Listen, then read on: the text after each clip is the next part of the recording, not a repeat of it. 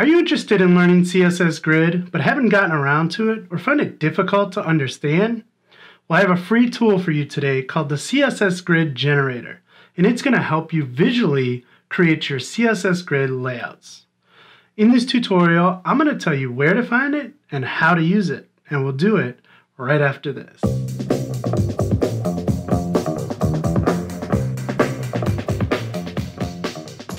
Welcome back to the channel, friends. My name is Dan Vega, and I've been a software developer for over 20 years now. I have over 90,000 students in my online courses, and I'm a curriculum developer for one of the best boot camps around. On this channel, you're going to learn how to code through a series of tips, tutorials, discussions, and even product reviews. Now, with that said, let's go ahead and dive in and learn something new today. As someone who's been developing web applications for a long time now, I'm kind of dating myself, but I started building websites using FrontPage. I moved to Dreamweaver and I learned how to nest tables inside of tables. I learned how to float and clear fix everything. So you could say I've seen it all when it comes to front end development. While I don't consider myself a designer, and you won't see any awards for my website sitting on my bookshelf over there, I do feel like I'm very capable in creating simple, clean, consistent layouts. That said, it's never been something that I've really enjoyed doing. I don't think I've ever truly understood how to create nice layouts, and I've always felt like I was just kind of hacking away at something until I got to a point where I was kind of happy. Uh, it's been a huge pain in the butt for me over the years, and maybe it has for you too. This is why when tools like CSS Grid and Flexbox came along, I got really excited about the possibilities of creating clean layouts. If you combine them with the advancements in JavaScript over the last few years, this is really what has got me excited again about front end development. While I have a pretty good understanding of CSS Grid at this point, I understand that can be a little bit confusing to get started with. That's why I'm really excited about this tool that I'm going to share with you today because it really helps you kind of get started with CSS Grid without having to learn everything at once. If you want, I also have a blog post associated with this video. You'll find a link for it in the description below or right there. Let's jump into the computer and actually build a layout using the CSS Grid generator. So here we are, the CSS Grid generator. If you want to get to it, you can go directly to the URL cssgrid-generator.netlify.com. You can do a quick Google search for it, or I'll have the link below. So when you first land on this page, you're giving a default layout so you can see the number of columns, the number of rows, what the gap looks like, and then you get this very visual representation of what this grid is going to look like. At the end of the day, there'll be a place to export some code, which is what we're interested in. Uh, there's also a reset grid, so if you want to go back to this default, you can. And also, as I mentioned, this is an open source tool. So if you click on this awesome little SVG icon here, it will take you over to GitHub and Sarah Drasner's repository for this tool.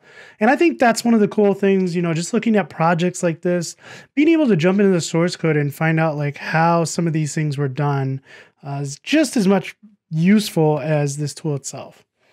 So we're going to use this tool to build a real layout today, and I'm going to jump over and show you. This is the layout that we're building. Nothing very complicated, but I want to start out basic here.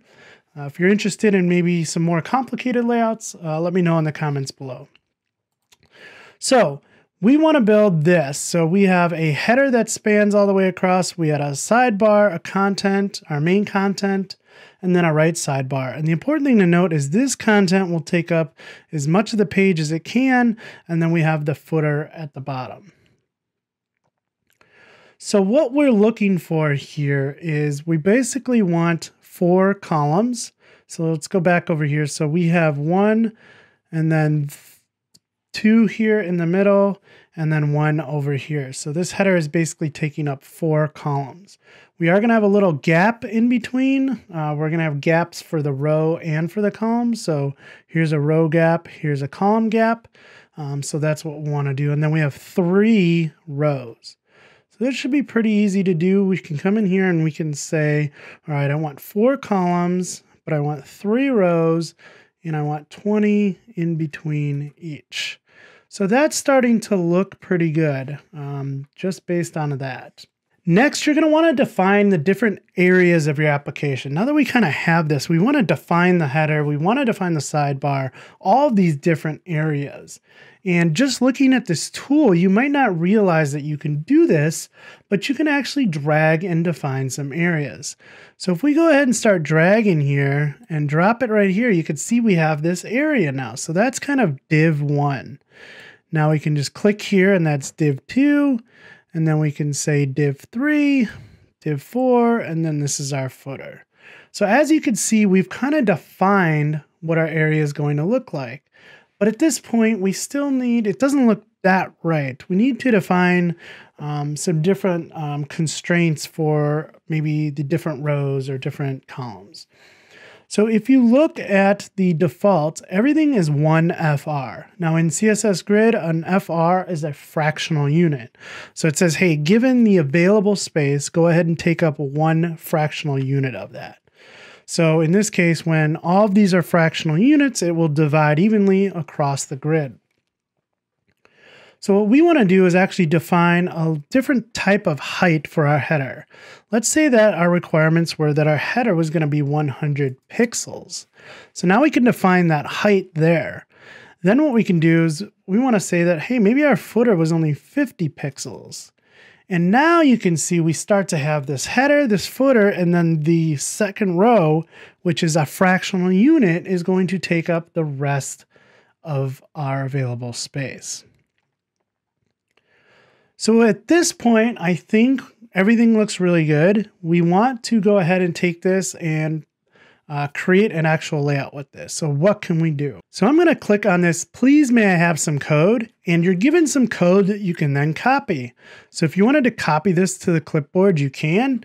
And what it's doing is it's creating a parent, and then inside the parent, it's using all of those divs that we created. So like this div is actually a header, this is a left sidebar, main, right, footer, etc. You could always rename those later, but it just gives you some generic code to start with. Now, if you're not quite sure what the HTML would look like, you can go ahead and show the HTML as well. So I really like this feature because this is something that was added later on, um, but right now you can go ahead and copy the CSS or the HTML. So what I'm going to do is pop over to a CodePen and we'll go ahead and add this to it. All right, so here I am in CodePen. If you're not familiar with CodePen, it's just a tool that allows us to quickly generate uh, some front-end code using HTML, CSS, and JavaScript. And not only that, but I can go ahead and share this out with you later. So if you want, go ahead and look for a link in the description below.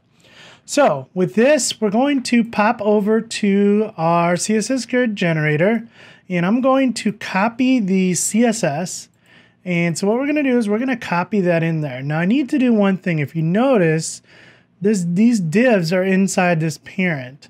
Um, so the what this is actually creating is SCSS. So what we need to do is change our preprocessor. And we're just going to say SCSS. Um, oops. Save and close. And that should be good. So now you can see that in parentheses. So then we'll pop back over here and we'll say, show me the HTML. We're going to copy that and we're going to pop this into the HTML. Now we can't actually see anything and the reason for that is there's like there's no like borders on any of the rows or columns.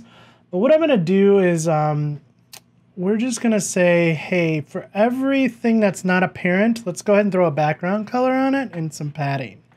So the way that we can do that is we can say, all right, anything that's not parent, let's go ahead and add some padding of 10 pixels and let's do a background color of, I have like a nice gray here, so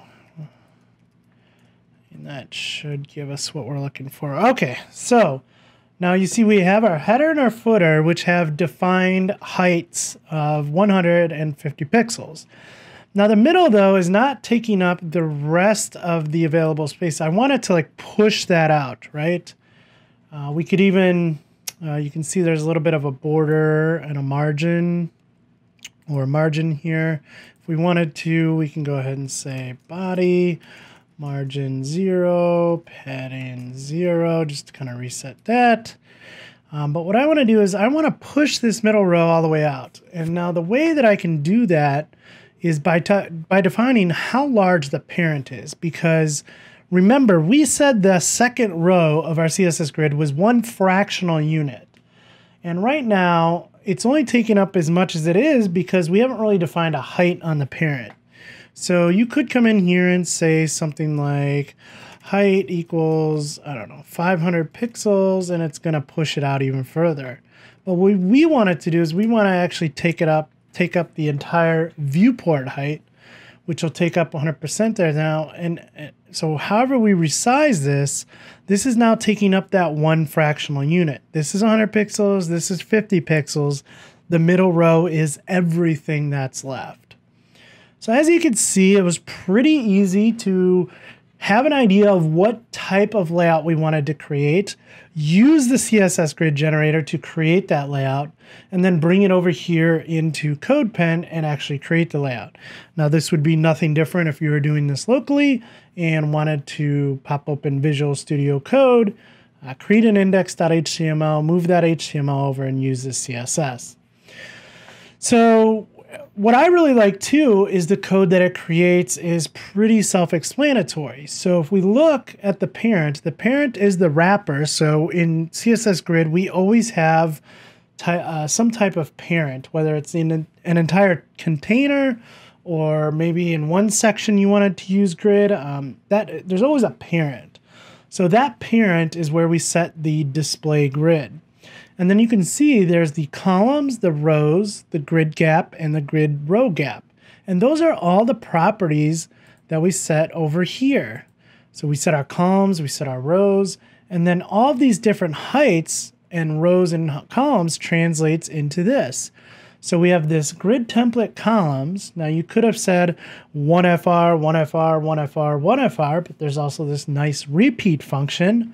So again, CSS Grid Generator is not only kind of teaching us how to build our layouts, but giving us these nice um, things that we might not have known about without it. So repeat is really cool. It just allows you to repeat. So it's saying repeat four times one fractional unit. Now, if you were using different units for all of those, you wouldn't use a repeat, but in this case we are, so it works out well. Then we have rows, and we know the header is 100 pixels. The middle row is one fractional unit, and then the bottom footer is 50 pixels.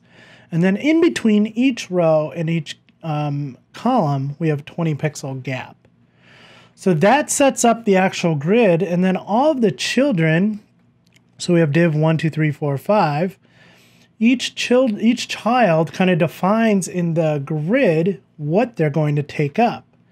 So what this is saying is it's 1, 1, 2, 5. So what does that do? So if we look at the div 1, this is the start of the column and the grid and where it's going to go to. So the difference with like, um, you have to think of grids using grid lines, and it's easier if you pop open into something like uh, Firefox developer tools and you can actually see the lines or in Chrome developer tools where you can actually see the lines. Whereas this would be like zero, this would be like one. Um, so again, they're all just start and end values and you can start to learn a little bit more about these. Um, but this gives you a nice um, uh, starting point, if you will. So now if you were going to use this in an actual layout, I would probably name this something a little bit better. So I would come in here and say, hey, this is the header. Um, and that's what our header is.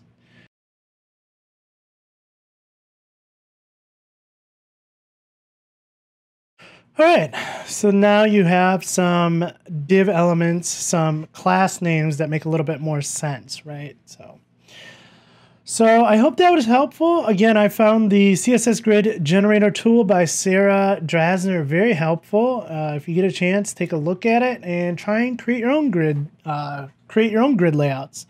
And again, if you have any ideas for grid grid layouts that you'd like to see, uh, go ahead and throw them in the comments below. I really hope you enjoyed this tutorial on the CSS Grid Generator. So, question of the day What are some of your favorite resources when learning CSS Grid? Please let me know below and we'll share those out with everyone. Finally, if you enjoyed this tutorial, please give me a thumbs up. Go ahead and subscribe to this channel. And if you don't want to miss another tutorial by me, go ahead and click on that bell notification. That's it for today, but as always, friends, happy coding.